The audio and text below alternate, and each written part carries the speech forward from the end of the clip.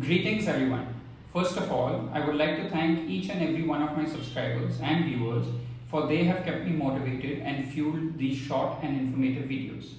Today, we take a look at the Code on Wages, the provisions which give importance and substance to the word wages. Chapter 3, containing sections 15 to 25 of the Code, deals with payment of wages. Section 15 of the Code prescribes five modes of payment of wages an employer may pay his employee wages in the form of currency coins, currency notes, checks, bank transfer, electronic modes of transfer. It may be noted that the government has retained the right to restrict the mode of payment.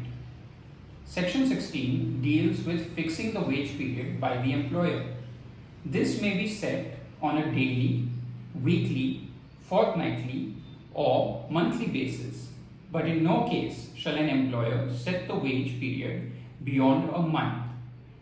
Section 17 of the code deals with time to make payment.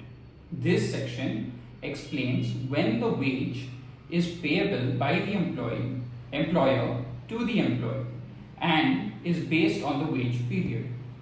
In cases where the wage period is fixed on a daily basis, the wages are to be paid at the end of the shift. In cases where the wage period is fixed on a weekly basis, the wages are to be paid at the end of the week and in any case before the weekly holiday, that is the day of rest of the employee. In cases where the wage period is fixed on a fortnightly basis, within two days from the end of the fortnight. And finally, in cases where the wage period is fixed on a monthly basis, wages are payable within 7 days of the succeeding month. In case of termination of the employee, the amount of wages is payable within 2 days of the last date of employment. This is a new addition carved out in the code which did not exist in the previous laws on employment.